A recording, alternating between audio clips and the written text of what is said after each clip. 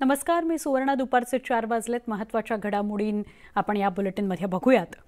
शिवसेना पक्षप्रमुख उद्धव ठाकरे यांनी देखील पाच खोके नॉट ओके म्हणत बंडखोरांवर निशाणा साधलाय. मातोश्रीवर सांगली जिल्ह्यातील शिवसैनिकांनी उद्धव ठाकरे यांची भेट घेतली आणि त्यांना आपला पाठिंबा दर्शवला यावेळी उपस्थित शिवसैनिकांना संबोधताना उद्धव ठाकरे यांनी बंडखोरांवर निशाणा साधला.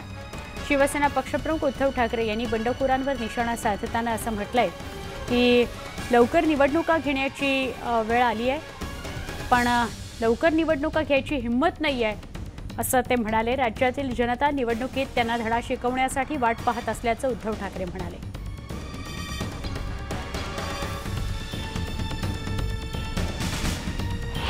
त्या लोकांना असते निवडणुकीची वाट बघताय. ती निवडणुका कधी एकदा येत आहेत आणि या गद्दारांना आम्ही धडा शिकवतो पण निवडणुका लवकर घेण्याची त्यांच्यात काही हिंमत आहे असं मला वाटत नाही.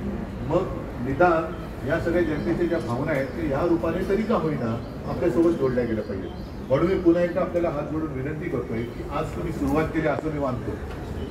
पुढच्या वेळेला या ते पाचाचे दहा दहाचे पंधरा पंधराचे वीस आणि ते सुद्धा आपल्या निष्ठेचे खोके. परत त्याचं बघा आतमध्ये प्रसार माध्यम आहेत ते म्हणतील इकडे सुद्धा खोके येत आहेत. हो येत आहे पण ते खोके कशाचे उघडून बघा.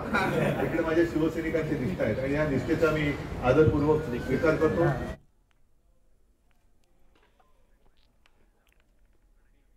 येत्या काही दिवसात मुंबई महापालिकेच्या निवडणुका होत आहेत. त्याआधी चर्चा सुरू झाली आहे ती राज आणि उद्धव यांच्या एकत्र येण्याची.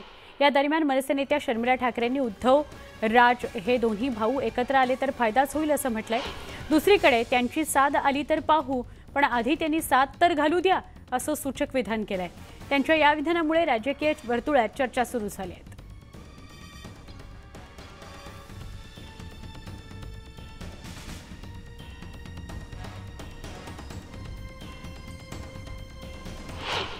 आता एकटे पडलेत उद्धव ठाकरे खरं तर. तुम्हाला असं वाटतं ही योग्य वेळ आहे?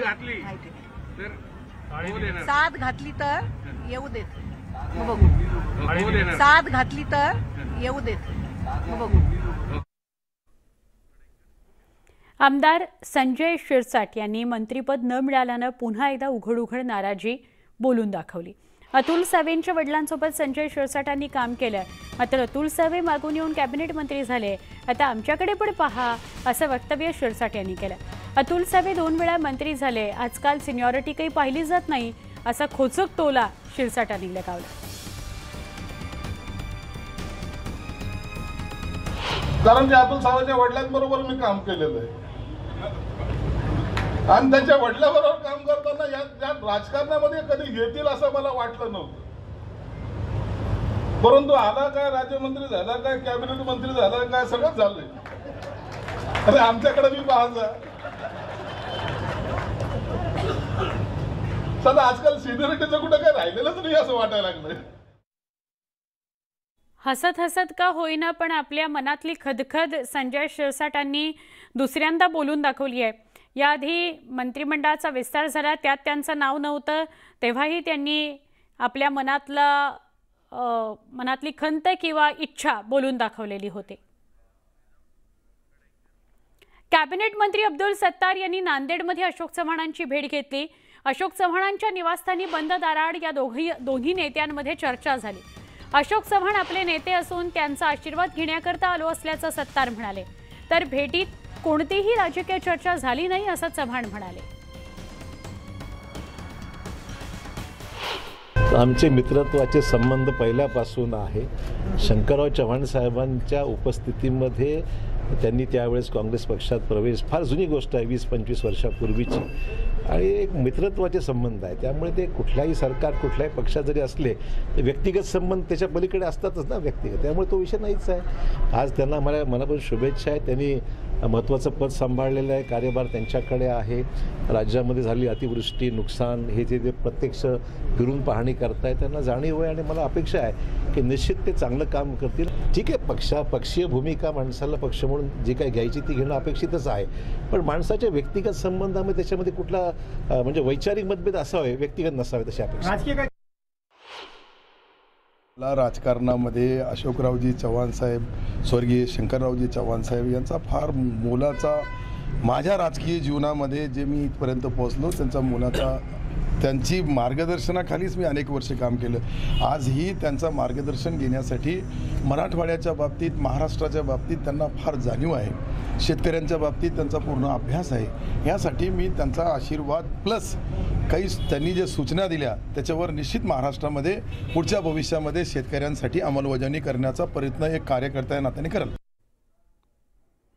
मुंबईकरांकरता आजचा महत्त्वाचा दिवस आहे. याकरता कर- कारण अनेक मंडळांमध्ये गणपती बाप्पाची मूर्ती आता विराजमान होताना आपण बघतोय. लालबागमध्ये सध्या गणपतीचं आगमन सोहळा सुरू आहे. आमच्या प्रतिनिधी सुष्मिता भदाणे पाटील तिथं उपस्थित आहेत. त्यांच्याशी बोलूया. सुष्मिता धामधूम आहे सगळी. लालबाग परळ या सगळ्या भागामध्ये. काय सांगशील?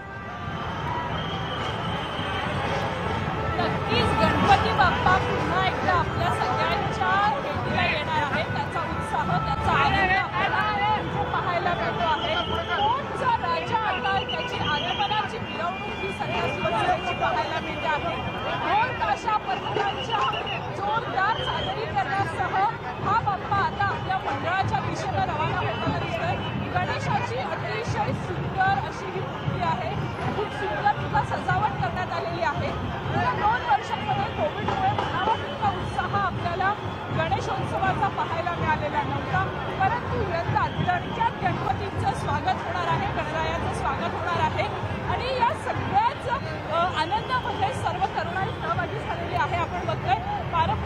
सहभागी आहेत. खरं तर दोन वर्षांनंतर पुन्हा एकदा तुमचं पथक वादनासाठी सज्ज झालंय कसं वाटतंय? एकदम उत्साहाने वाजवतोय आम्ही. खूप एकदम छान वाटतं आम्हाला. बस. इतकं वर्ष वाट बघितली होती दोन वर्ष वाट हो मग काय? खरं तर आनंद प्रत्येकाच्या चेहऱ्यावर आहे. ढोल ताशा पथक इथे आहे ध्वजा पथक आहे आणि गणपती बाप्पा आता काही दिवसातच आपल्या प्रत्येकाच्या घरी येणार आहेत. आणि तत्पूर्वी आजचा रविवार अनेक गणेश मंडळांनी आपल्या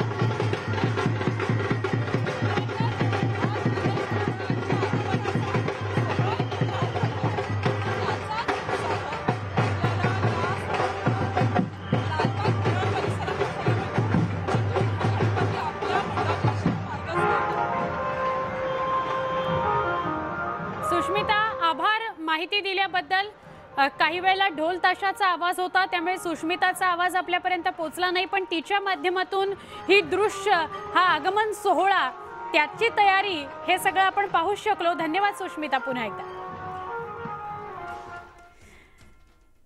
पुढच्या बातम्यांकडे वळूया. विधान परिषद विरोधी पक्षनेते अंबादास दानवे यांनी आशिष शेलारांवर टीका केली आहे. मोदींचा करिश्मा संपल्यामुळेच बाळासाहेब ठाकरेंच्या नावानं भाजप राजकारण करतंय अशी टीका त्यांनी केली. आशिष शेलार एक वाचाळ म्हणून त्यांची प्रतिमा झालेली. भारतीय जनता पार्टीनं सोडलेलं एक पिल्लू आशिष शेलार यांना म्हणता येईल.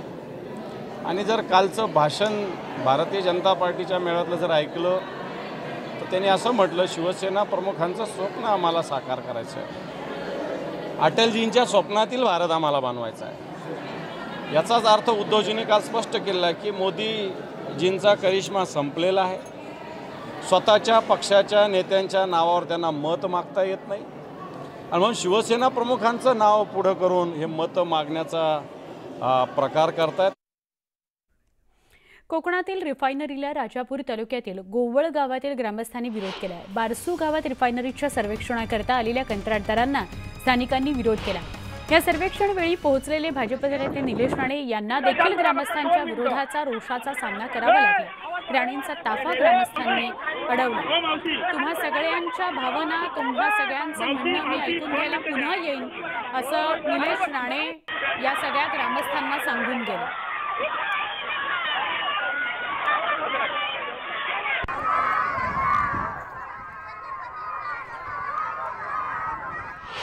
स्थानिकांचा फार मोठा दोष आहे अशातला भाग नाही. काही बाहेरचे एन जी ओ जे आहेत ते येऊन त्या स्थानिक लोकांमध्ये गैरसमज पसरवण्याचा प्रयत्न करत आहेत त्याच्यामुळं अशी यंत्रणा प्रशासनानं उभारली पाहिजे की कुठच्याही परिस्थितीत तिथं गैरसमज निर्माण होता कामा नये आणि जे स्थानिकांचे गैरसमज आहेत हे दूर करणं गरजेचं आहे. आता शेवटी एखादा प्रकल्प नको म्हणून माझ्यावर टीका केली जाईल राजन साळींवर केली जाईल निलेश राणेंवर केली जाईल हा एक तिथल्या संघर्षाचा भाग झाला. परंतु तो संघर्ष भविष्यामध्ये होणार नाही याची जबाबदारी शासन म्हणून आम्ही स्वीकारणार आहोत. की याच्यामध्ये ग्रामस्थांवर कुठचीही कारवाई करण्यापेक्षा किंवा ग्रामस्थांना कायदेशीररित्या अडचणीत आणण्यापेक्षा तिथं जनजागृती झाली पाहिजे. पण मी हे सांगितलं ना की विनायक राऊत साहेबांचं म्हणणं असं आहे की रिफायनरी नको. आणि राजन साळवी साहेबांचं म्हणणं आहे की रिफायनरी पाहिजे. आधी त्या दोघांनी एकमत करावं ना. खासदार विनायक राऊत यांनी शहाजी बापू पाटलांवर टीका केलेली आहे. शहाजी बापू पाटलांसारखा नौटंकी करणारा माणूस राजकारणामध्ये विनोद करू शकतो पण मतदारसंघाचं प्रतिनिधित्व करू शकत नाही अशी टीका विनायक राऊत यांनी केली.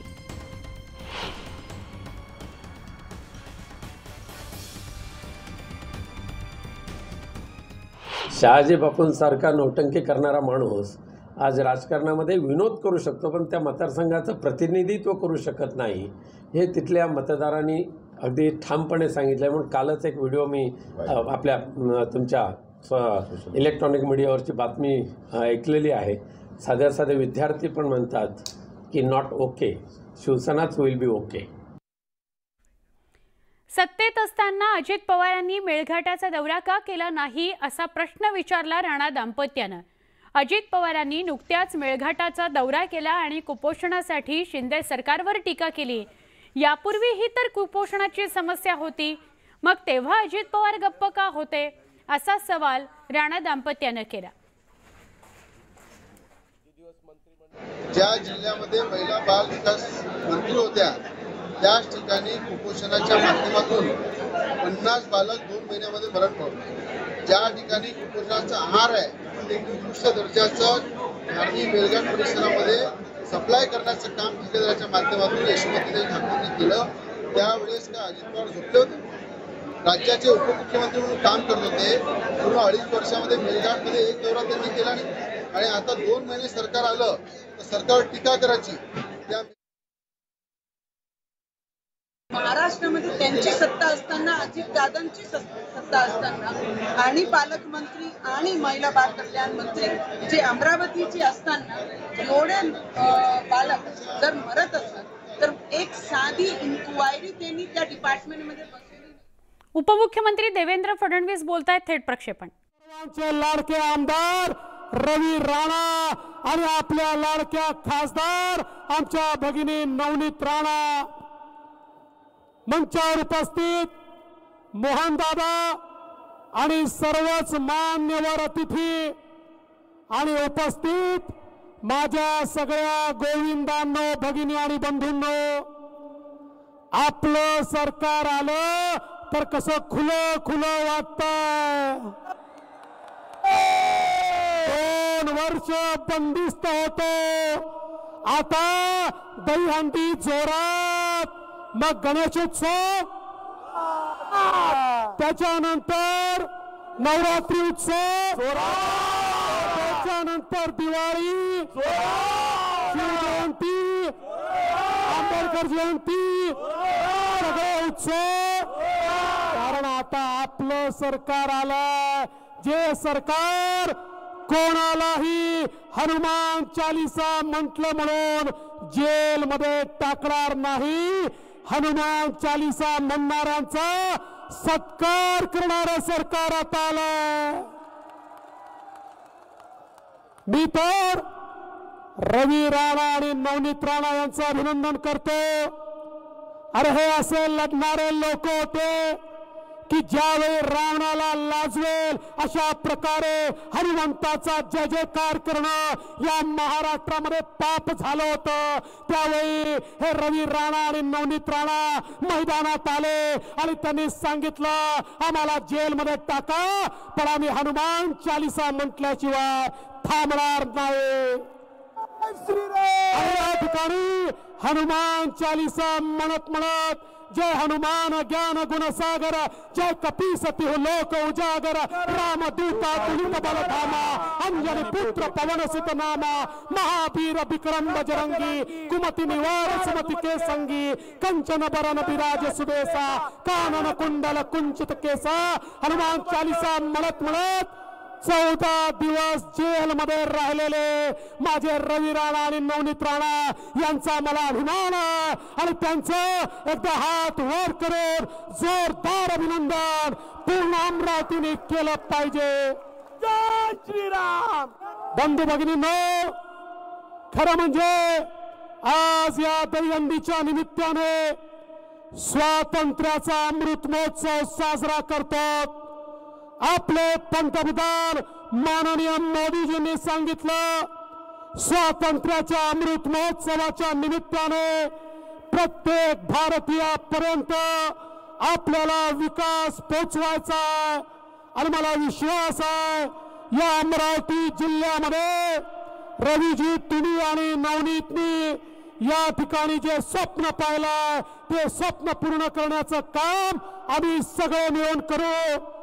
तुमच्या पाठीशी आम्ही सगळ्यात बावनकुळे जे आहेत बोंडे जी आहेत रामदास तळस आहेत प्रताप अडसड आहे. आम्ही सगळे तुमच्या पाठीशी आहोत. त्यामुळे तुम्हाला चिंता करण्याचं कारण नाही आहे तुम्ही जे काम या ठिकाणी उभं केलंय मला आनंद आहे.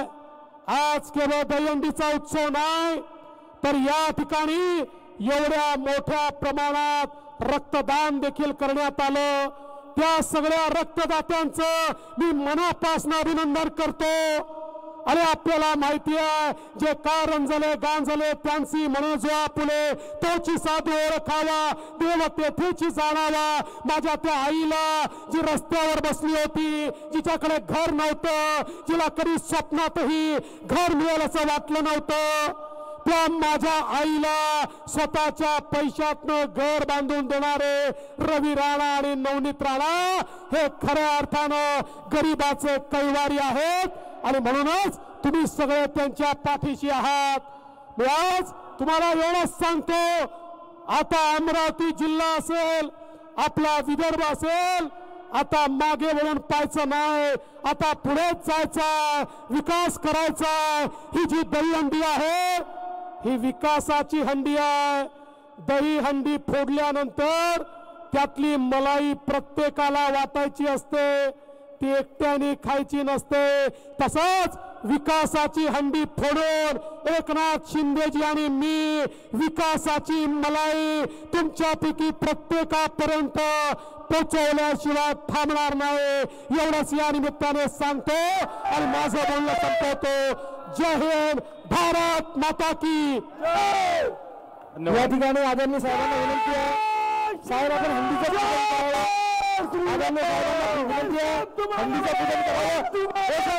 हंडीचं सुनील बोराना कृपया सलामीची टीम तयार ठेवा. सलामीची टीम तयार ठेवा. तयार करा सलामीची. सांगा ती सलामी टीम तयार राहिली. सलामीची टीम तयार ठेवा. ही प्रतिकात्मक हंडी बाकी बाहेर. आणि प्रतिकात्मक हंडीचं मुख्यमंत्र्यांच्या हस्ते या ठिकाणी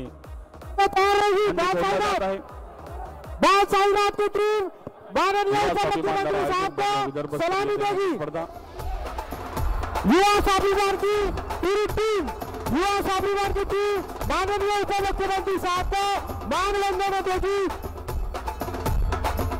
रेडी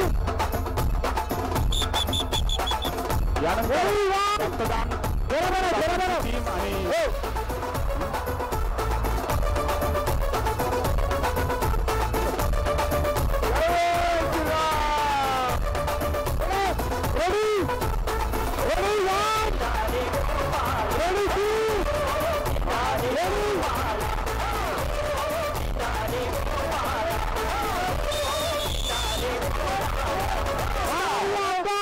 빠네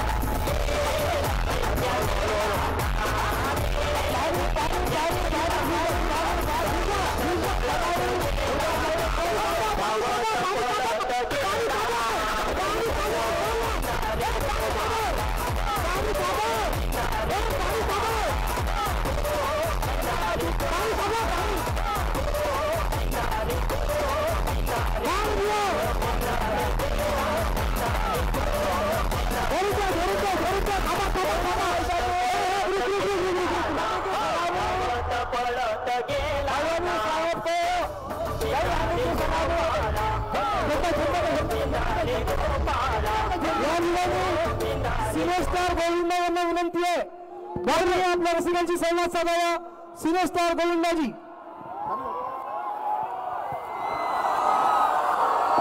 नमस्कार प्रणाम. परम आदरणीय देवेंद्रजी परम आदरणीय चंद्रजी माझे फार जवळचे मित्रगणातलं रवी राणा व नवनीत राणा मित्रबंधू भगिनीनो मराठीतनं बोलू की हिंदी? हिंदी? अच्छा ऑलराईट दुसरी टीम फ्रेंड्स क्लब फ्रेंड्स क्लबची टीम यायचा. विश्वानि देव सवित दुरितानि परासव यद्भद्रं तन्नासव. त्र्यंबकं यजामहे सुगन्धिं पुष्टिवर्धनम्.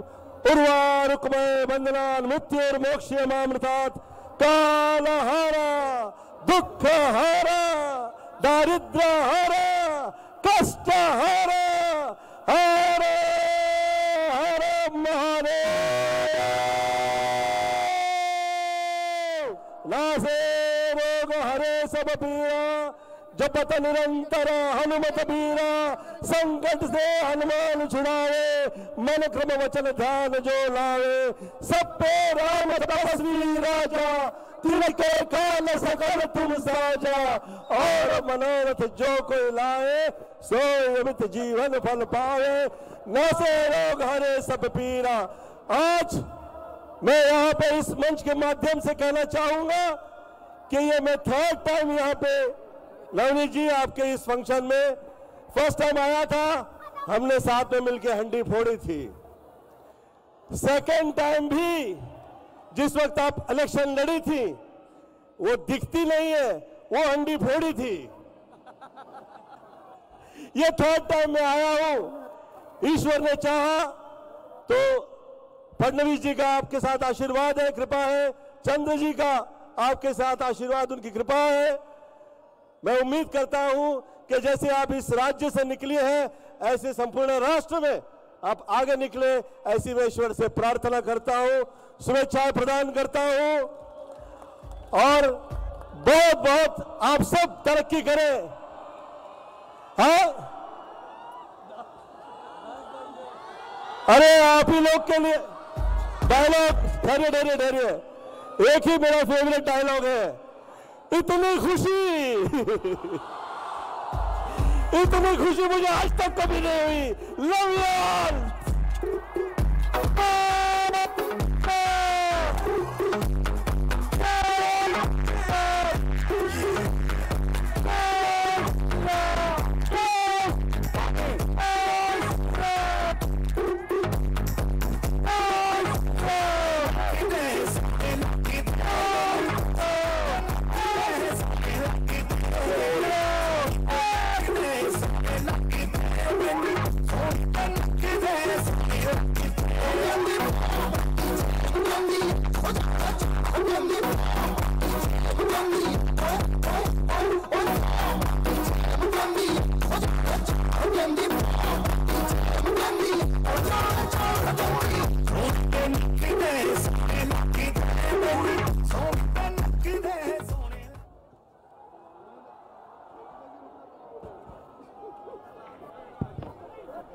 धन्यवाद.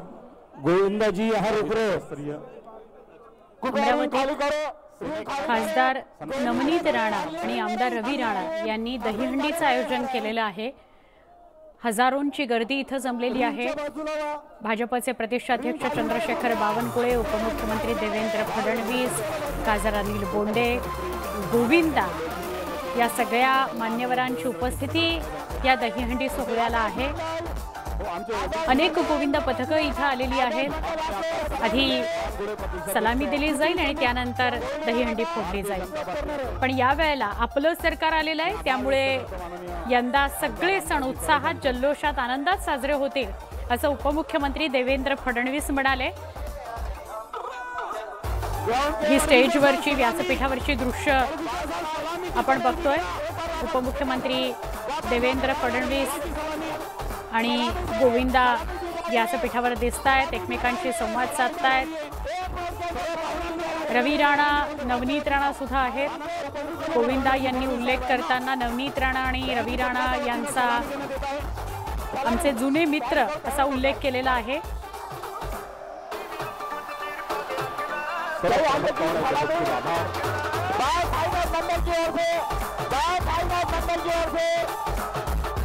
गोविंदानी स्वतःच्या स्टाईलमध्ये सगळ्या गोविंदा पथकांचा उत्साह वाढवलेला आहे. डीजेचा शोरगुल आपल्याला ऐकायला मिळतोय. यावेळेला विशेष आनंद गोविंदा पथकांमध्ये अमरावतीकरांमध्ये आहे. कारण दोन अडीच वर्षांच्या कोरोना काळामध्ये कुठलाही सण उत्सव जनता साजरा करू शकली नव्हती. त्यामुळे यावर्षी सगळेच सण उत्साहात साजरे करताना जनता आपण बघू शकतो.